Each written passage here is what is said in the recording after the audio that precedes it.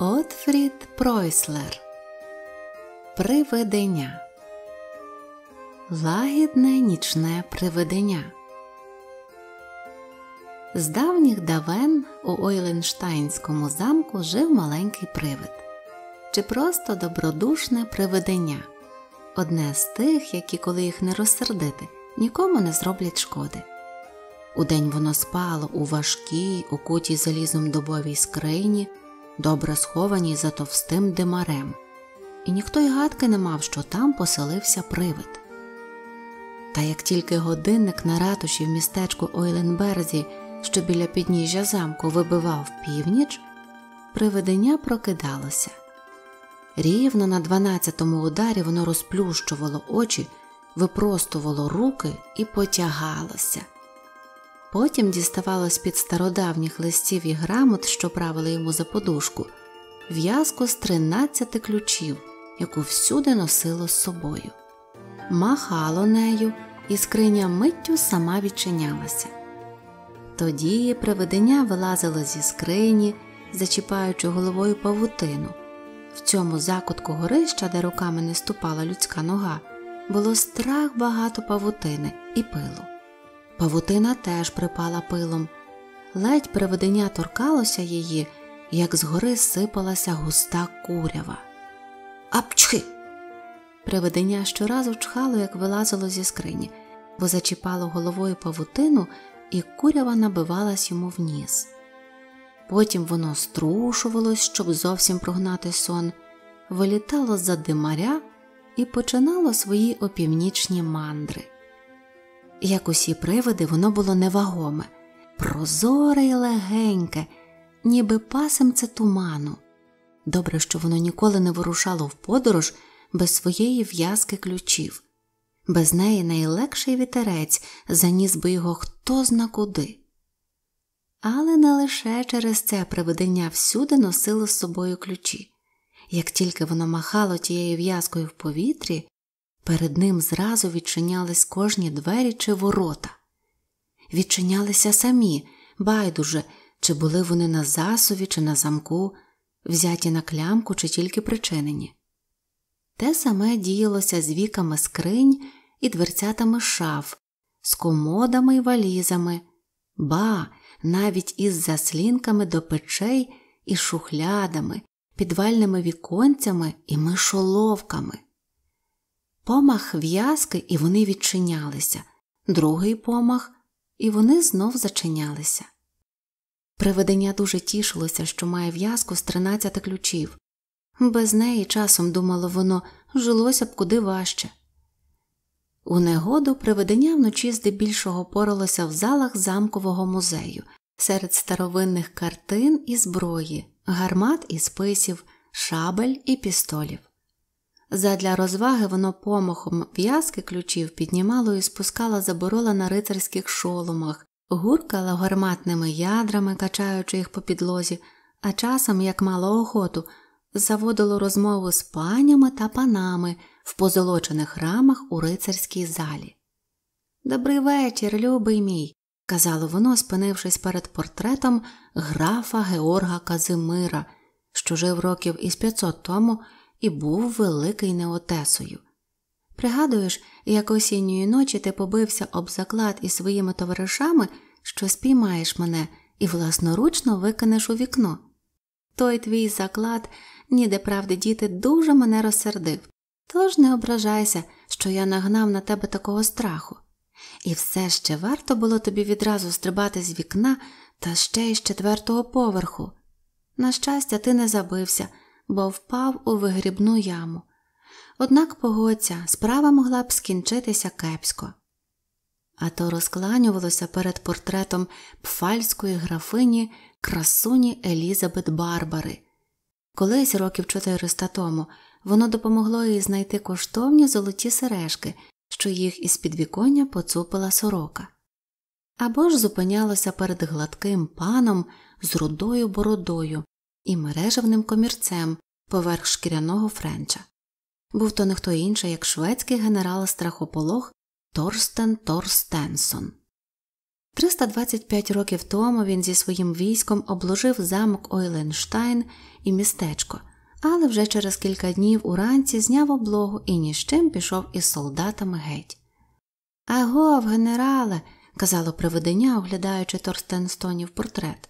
Гадаю, вчені люди ще й досі сушать собі голову над тим, що примусило вас таким поспіхом знятися. Та не тривожтеся, генерале, про все те я змовчу. От хіба розкажу угу шуху, він полюбляє такі історії, але вам, сподіваюся, це аж ніскільки не зашкодить. Пригода з Тор Стенсоном Коли погода хоч трохи сприяла, приведення просто з горища пускалося в мандри, як ніжно пахло прохолодне нічне повітря, як легко і вільно дихалося під високим небом. Дуже любило приведення місячні ночі перескакувати з зубця на зубець по високому сріблястому мурі, коли місяць кидає тобі ясненький промінь, біліший за хмарку снігової пороші. Це ж просто чудово. Приведення ставало тоді таке веселе і щасливе, що знай стиха хихотіло. Хи-хи-хи-хи, як гарно на Ойленштайнському замку, коли світить місяць. Хи-хи-хи-хи. Інколи приведення гралося з кажанами, що випурхували вночі зі своїх схованок, і кружляли довкола замкових веж.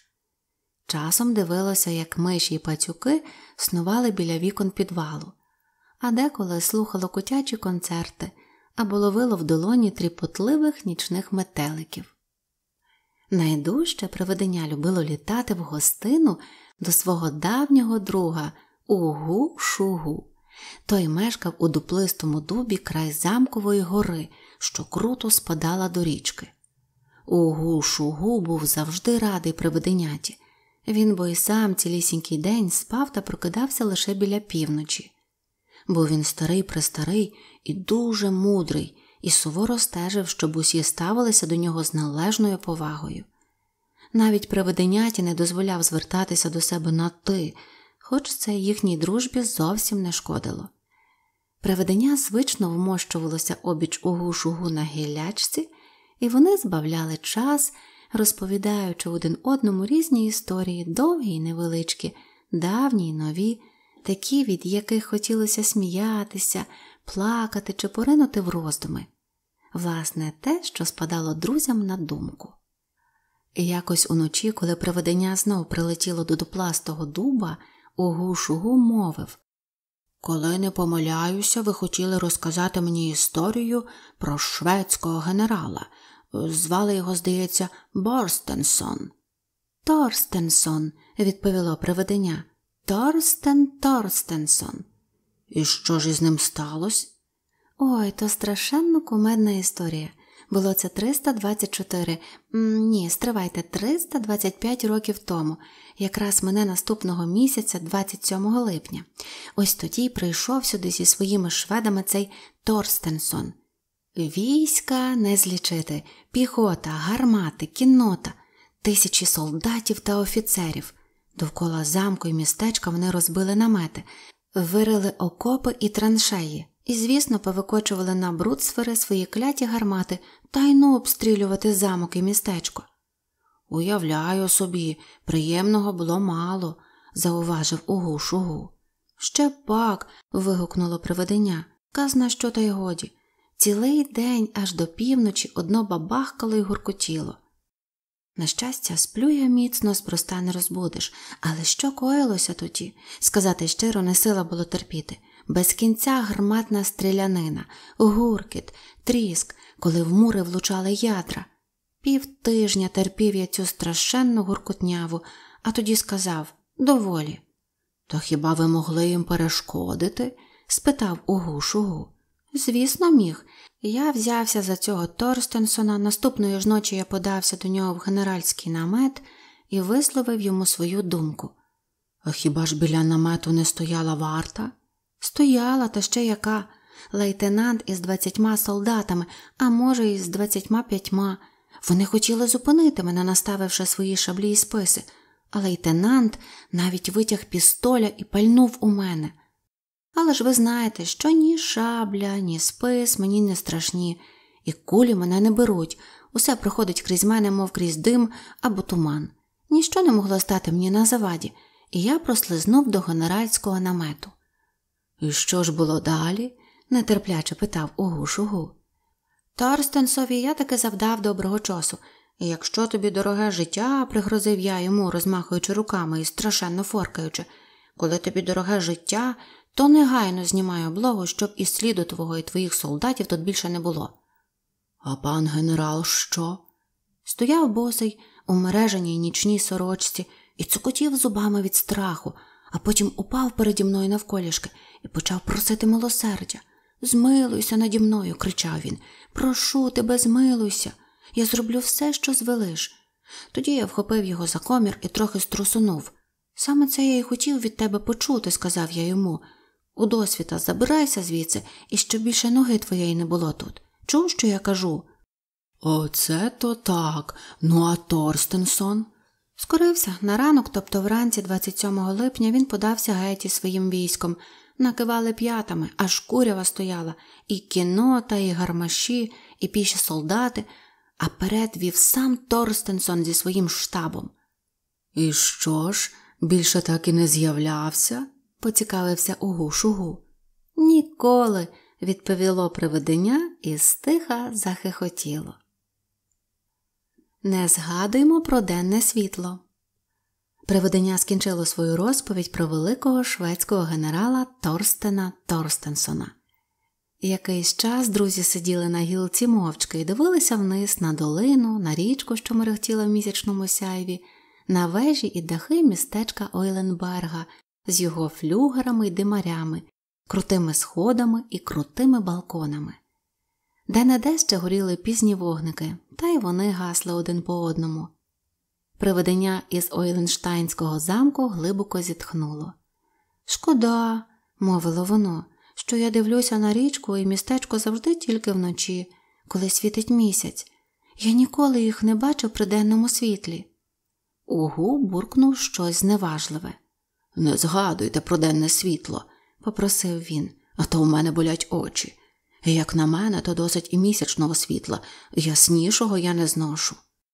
І все таки, заперечило привидення, усе таки хотілося хоча б разочок глянути на світ у день, просто щоб збагнути, чим він різниться від нічного.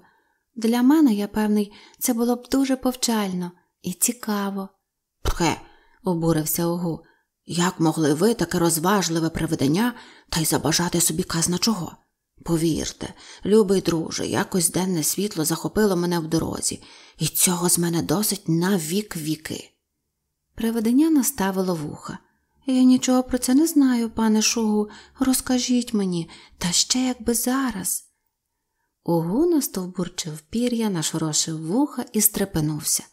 Здавалося, що йому нелегко про це згадувати. Замолоду, почав він. Я час від часу залітав далеко на околиці Ойленштайна, щоб трохи пополювати, а то й просто з цікавості. Та якось сталося, що я втратив лік часу, і уявіть собі, раптом помітив, що вже розвидняється. Лишенько моє, до Ойленштайна було щонайменше сім миль, чи долечу туди до сходу сонця. Я летів щодуху, але сонце було пруткіше за мене. Майже на півдорозі воно настигло мене. Його яскраве проміння мене осліпило, і я мерщій заплющив очі. Чи знаєте ви, як воно на душі, коли летиш, а не бачиш куди? Приблизно уявляю собі, сказало привидення. О, ні. вигукнув Угушугу. Це неможливо уявити, якщо не пережив сам. Повірте, то було щось жахливе, але найжахливіше чекало попереду. Тут угу шугу здалося доречним помовчати, по-перше, для того, щоб відкашлятись, а по-друге, він почав помітно хвилюватись. Привидення нетерпляче засовалося на гілці.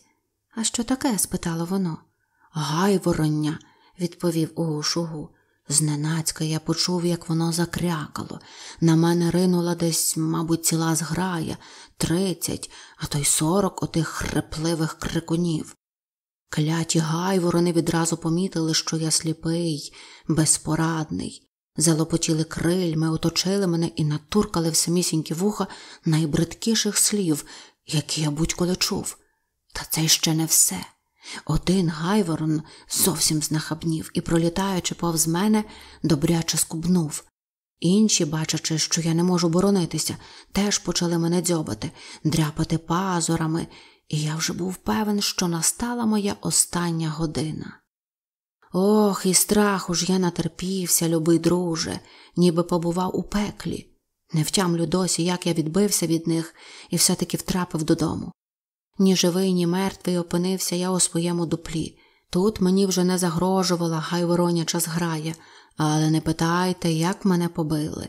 Страшно згадати, любий друже, страшно згадати. Угу вдарив крильма, немов хотів струсити себе спогади про той злощасний ранок. Ось чому, закінчив він свою розповідь, я зарікся вилітати з дому в досвіта. Ми нічні істоти не створені для денного світла. І ви теж, вельмишановний друже, ви особливо. Прикрощі. Приведеняті дедалі частіше і дедалі дужче кортіло подивитися на світ за дня, дарма що огу знає відраджував його. Не віриться, щоб мене спіткало якесь лихо, казало приведення. Зрештою, у мене є в'язка ключів, я зможу захиститись, та я невразливий, що мені станеться. Ой, не дарма лізуть у голову такі думки. Якось уночі наприкінці червня приведення вирішило таки доскочити свого. Що для цього треба, воно добре знало. Не облягатись, як звичайно, з кінцем опівнічної години, а діждатися світанку. Оце й все. З кінцем опівнічної години приведення завжди почувало невимовну втому. От і сьогодні, близько першої години ночі, його напали позіхи, голова і все тіло робились дедалі важчі. Тоді приведення вмостилося на краєчку скрині, так певніше, і сказало само собі Не піддавайся, приведення, тільки не піддавайся. Але що могло воно подіяти проти своєї вдачі? Як тільки на годинник на вежі вибив першу і опівнічна година скінчилася, приведення відчуло, що йому паморочиться в голові. Довелося на мить заплющити очі а коли воно їх розплющило, все довкола пішло обертом димар, місяць у слуховому віконці, павутиння і крокви, все кружляло та й кружляло, і приведення вже не могло добрати де верх, а де низ. Раптом воно втратило рівновагу, похитнулося, упало на дно скрині і відразу міцно заснуло. Проспало проведення до півночі а прокинувшись, було дуже розчароване і сердите, сердите на самого себе, проте воно й не думало так одразу відступатися від свого задуму. А може, сьогодні мені таки пощастить, сказало воно само до себе. Принаймні треба ще раз спробувати. Але й цього разу, як першого, його спіткала невдача, не подолало воно сну і третьої ночі. Невже таки я не знайду якоїсь ради, думало проведення четвертої ночі. Погода була погана. Дощ старабанив по даху, де Марі завивав вітер, у ринвах плюскотіла вода. Зовсім зажурене приведення подалося до замкового музею. Георг Казимир та інші графи лицарі насмішкувато поглядали зі своїх позолочених рам, так принаймні йому здавалося. А генерал Торстенсон так скривився, ніби ось ось зайдеться реготом. Бракувало тільки, щоб з мене й виглузували буркнуло привидення. Воно вже хотіло повернутися спиною до генерала, а заразом до всіх графів та лицарів, як помітило в скляній вітрині золотий годинник, той самий Торстенсонів кишеньковий будильник, якого генерал загубив у поспіху відступу, і який згодом після багатьох пригод став експонатом замкового музею. Привиденяті вже доводилося гратися тим будильником, тож воно вміло ним користуватися і тепер склало собі новий план. Сподіваюся, мій любий Торстенсоне, ти не будеш проти, коли я на якийсь час позичу твій будильник, сказало воно посміхаючись. Та не хвилюйся, я беру його з якнайкращим наміром.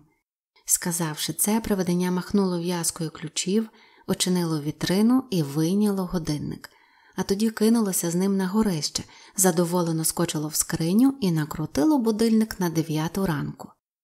Якщо я прикладу вухо до будильника, подумало воно, то неодмінно прокинуся, коли він задзеленчить, і ніщо вже не поламає мого задуму. Та ба, привидення знову помилилося. Генералів будильник задзвонив рівно о дев'ятій, але воно його не почуло. Воно спало собі аж до дванадцятої години ночі і прокинулося лише тоді, коли до замку долинув дзвін годинника на ратуші. Як же це так? не могло воно зрозуміти і спробувало щастя з будильником у друге у третє, але знову зазнало невдачі. Тоді привидення вирішило наступної ночі покласти Торстенсонів годинник назад у вітрину, і це була добра думка, бо обидва музейні доглядачі встигли виявити зникнення коштовного експоната і щинили переполох. Заявили навіть у поліцію, і пан старший кримінальний вахмістер Гольцінгер зробив висновок. Тут доклали рук спритні хлопці, залізти у вітрину і не лишити щонайменшого сліду, таке під силу тільки неабияким майстрам своєї справи. І ось золотий годинник знову лежав на своєму місці, ніби нічого й не сталося. Нехай музейні доглядачі завтра вранці сушать собі голови, і як він там опинився. Приведеняті було про це байдуже, воно мало свій клопіт. Усю цю історію воно розповіло угу шугу і спитало його чи не можете ви мені пояснити, чому генералів будильник не збудив мене? У пана угу заблищали очі. Здавалось, він напружено думає над запитанням приведеняти.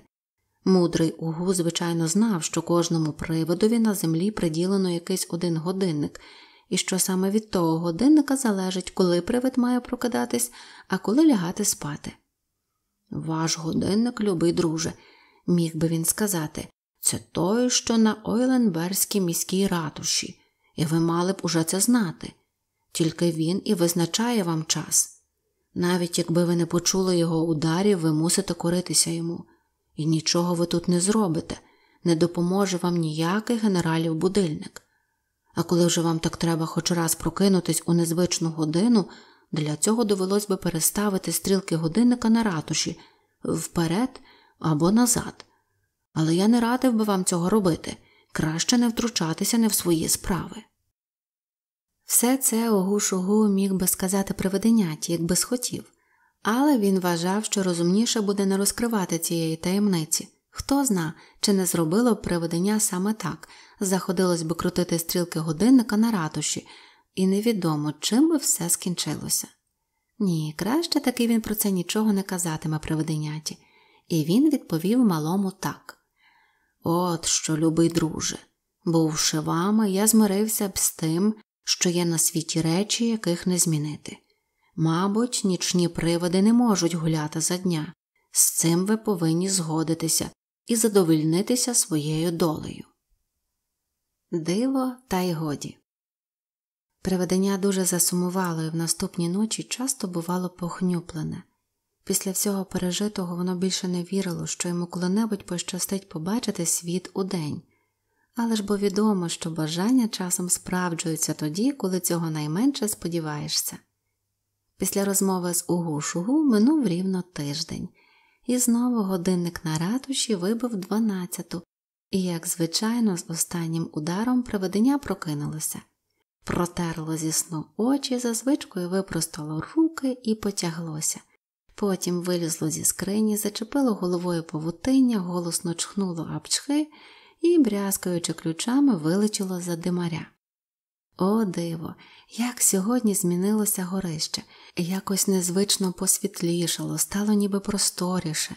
Крізь шпарини поміж черепицею лилося золоте місячне світло. Як багато його тут!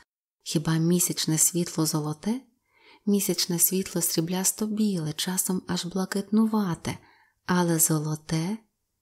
Як це не місячне сяйво, міркувало приведення, то що ж воно таке?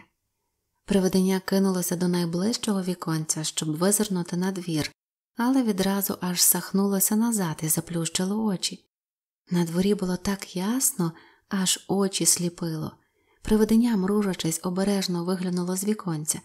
Минув якийсь час, поки воно нарешті зовсім розплющило очі. Ох. вражено вигукнуло приведення. Який же ясний сьогодні світ, і який барвистий. Досі привидення вважало, що дерева чорні, а дахи сірі.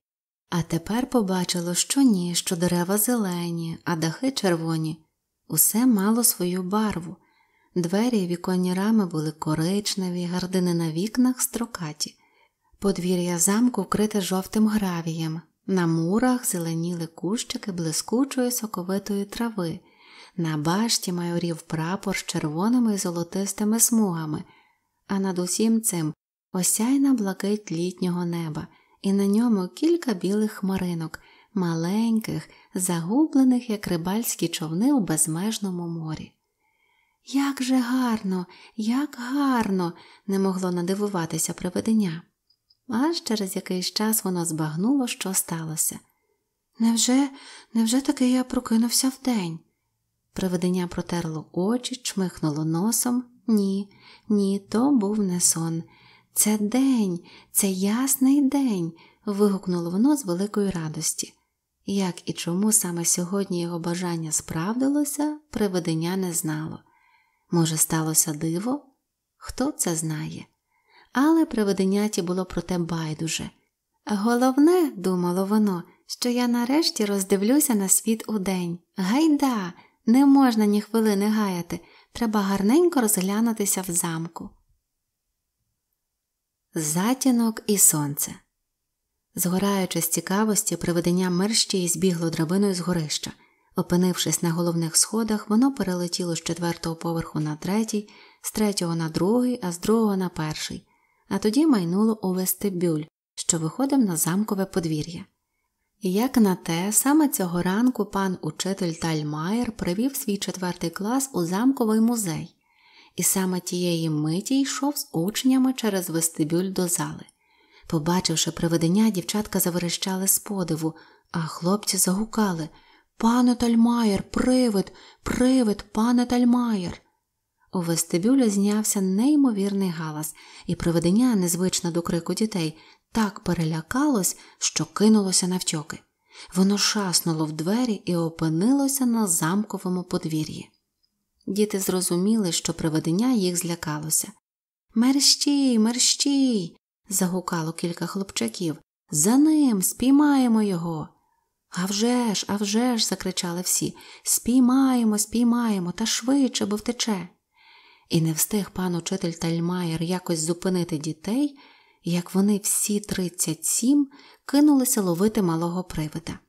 Галасуючи, мов воїни індіанці, промчали вони через вестибюль і збилися біля дверей. Ви його бачите, ви бачите його. гукали до передніх ті, хто був позаду, а передні кричали Он він побіг. Привидення постояло, доки змогло в затінку під муром, як і всі нічні істоти, воно боялося яскравого сонячного світла, а взагалі його бавило, що діти за ним погналися. Кричіть собі, думало привидення, коли ви гадаєте, що я боюся вас, то помиляєтесь. Один раз воно підпустило дітвору до себе на кілька кроків, але тільки на передні хлопчаки намірились його схопити, воно зненацько відскочило вбік, і переслідувачі заурали носом землю. От добре, от добре, раділо приведення, зробимо так і вдруге. І вдруге хлопчаки попадали на землю. За третім разом проведення необачно вистрибнуло із затінку на яскраве сонячне світло, і тоді сталося щось дивовижне. Ледве приведеняти торкнувся перший же сонячний промінь, його ніби добре вдарило в голову, і воно трохи не впало на землю.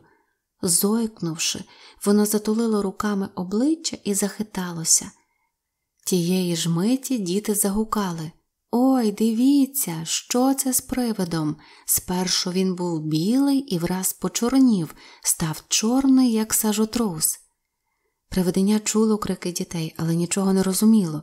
Воно відчувало, з ним щось сталося, але не могло збагнути, що саме, та й звідки воно мало знати, що привиди чорніють від першого ж сонячного променя. Треба тікати, майнула в голові єдина ясна думка тікати треба якомога далі звідси. Та куди ж?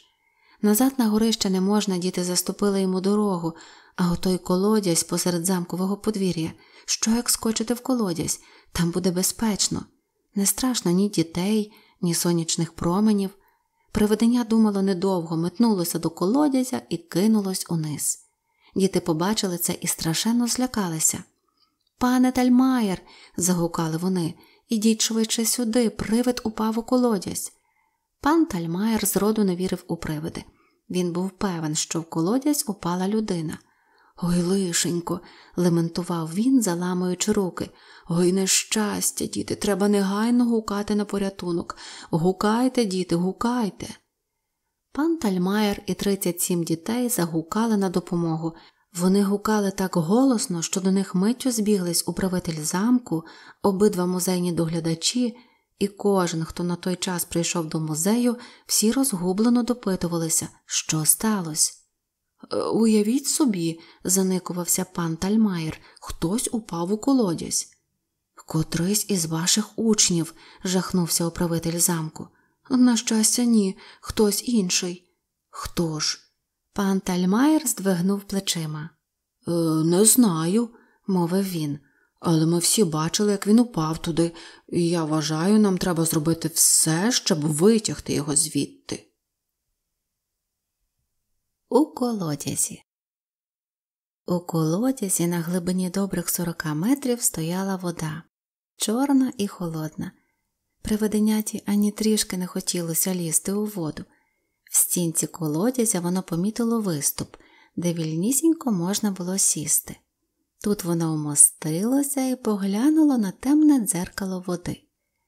З глибини колодязя на нього дивилася чорна постать. Вона мала білі очі і в руці в'язку з тринадцяти ключів. По тій в'язці проведення пізнало в чорній постаті своє відображення. Ой, який у мене вигляд! жахнулося воно.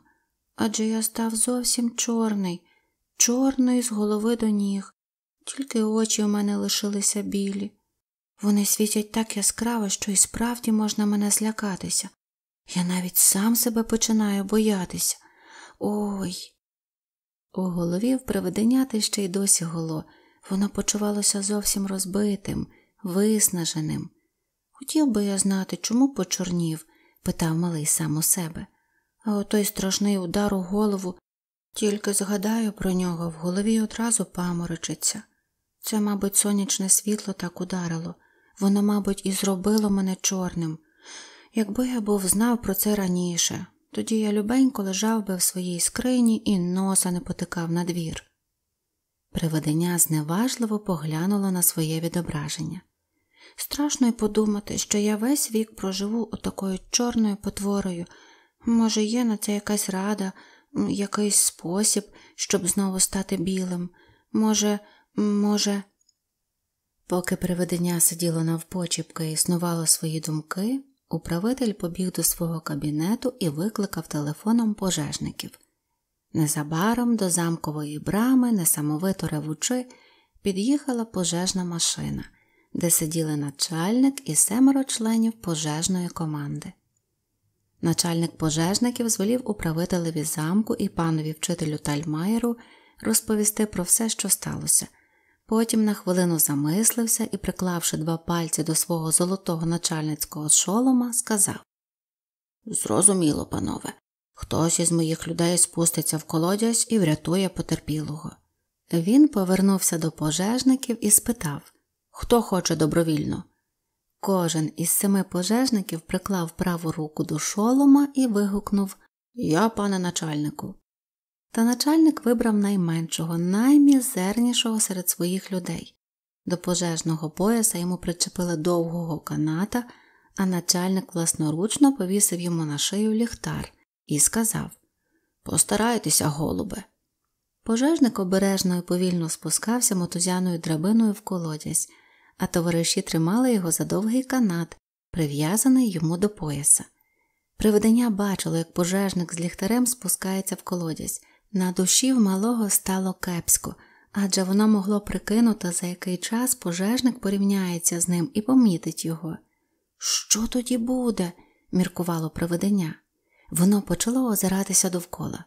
Якраз проти виступу до приведення сиділо, воно побачило у стіні колодязя низенькі залізні двері. На них висів величезний старий замок. куди ці двері ведуть.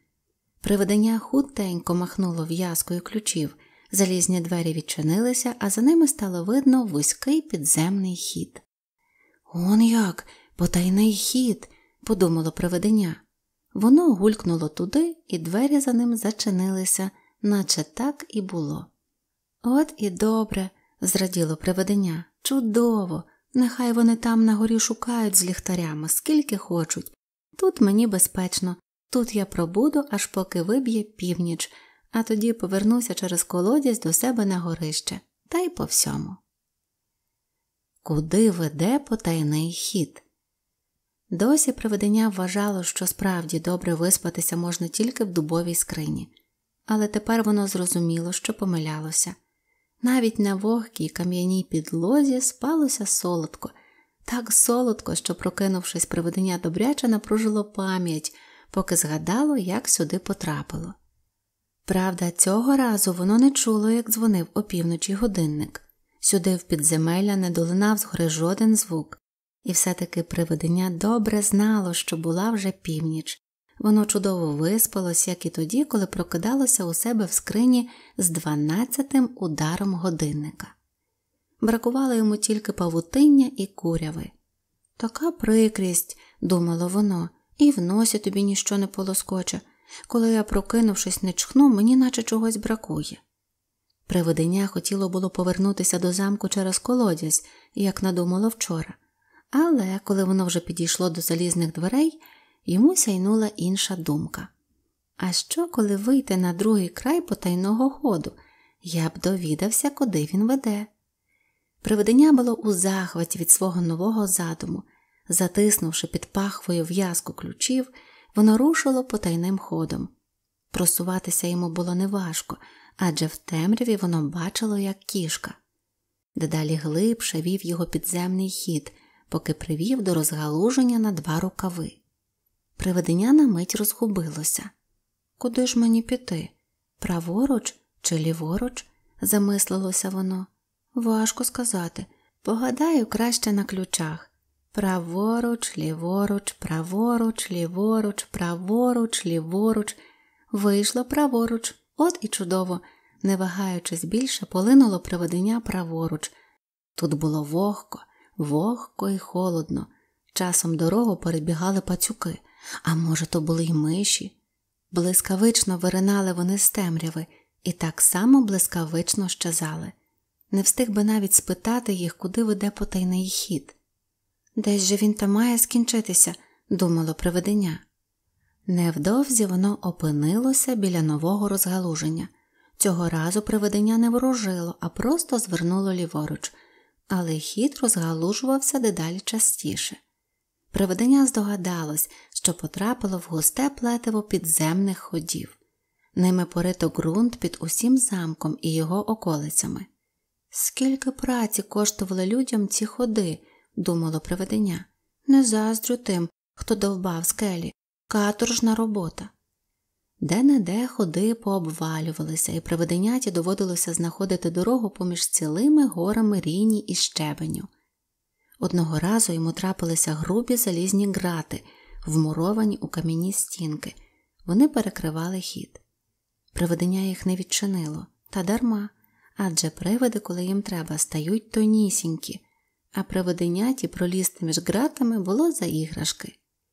Та через кілька метрів виявилося, що підземний хід кінчається, він упирався в стіну, і лише вгорі виднів залізний люк. Цікаво, куди він веде, міркувало привидення. Недовго думаючи, воно махнуло своєю в'язкою з тринадцяти ключів. Дверцята люка відчинилися нагору, стукнувшись об асфальт. Сяйнуло світло, яскраве денне світло. Отакої, здивувалося привидення. Хіба тепер не ніч?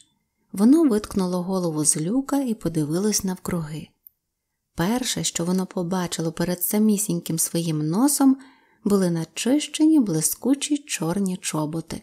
Щобіт виростав чолов'яга в блакитному френчі з блискучими мідними гудзиками і в довгих білих рукавичках. Кашкет на ньому також був білий. Приведення й гадки не мало, що чоловік у білому кашкеті регулювальник, а регулювальник не міг знати, що та чорна постать з білими очима, яка зненацька висунула з під землі голову на перехресті, де був найжвавіший у місті транспортний рух приведення. Він подумав, що то робітник, який чистить каналізацію. Ви що, збожеволіли? закричав він, узявшись руками в боки. Не вигадали розумнішого, ніж відчиняти отут люк і зупиняти транспорт. Зробіть ласку, щезніть у своїй трубі тільки миттю. Водії машин не могли збагнути, чому регулювальник примушує їх чекати. Дехто не витримав і почав сигналити, але приведення сердите, що регулювальник на нього нагримав, не квапилося. Воно раптом почало надиматися, поки голова його стала завбільшки, як та бочка, потім склало дудочкою губи і дмухнуло. Повітря вирвалося з нього зі свистом, наче з надувної кульки. Фють, фють! І вже білий кашкет злетів у регулювальника з голови. Бідолаха мало не зумлів, він витріщив очі і стояв, побілівши, як крейда. От бачиш, захихотіло привидення, і задоволене спустилося в підземний хід. Губ і дверця та люка впали, прикривши малого. Минула добра хвилина, поки регулювальник оговтався від переляку, і ще добрих п'ять хвилин, поки він спромігся підняти руку і пропустити машини, що стояли на перехресті, і сигналили. Далі буде. Ставте свої вподобайки і до зустрічі на каналі Світ Казок.